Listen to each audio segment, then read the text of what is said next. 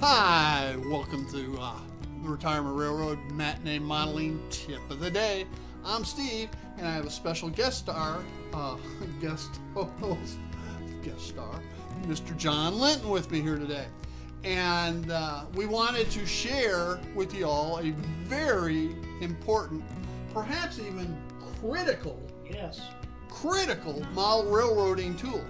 And you and they're free. Just anytime you're at Home Depot or Lowe's and you're picking up some paint, pick up one of these paint can tools. All right. And the reason I say that, the retirement railroad here has a lot of elevation changes, curves, etc.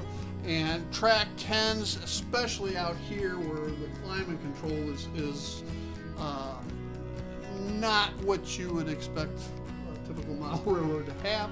Um, but anyway, so you get some twisting of the tracks, etc. Well, this little tool here is excellent to be able to get under the rail, all right, and elevate it to take twists out. And uh, you'd be surprised how often I have to use this, especially during the change of season. But the real um, value in this, the critical value in this tool is it's also good for adult beverages.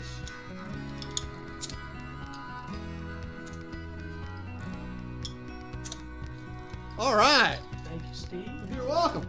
Hey, thanks for joining us here at the uh, Retirement Railroad Matinee Modeling Tip of the Day. Again, I'm Steve, And I'm John. and y'all have a great day. Bye now.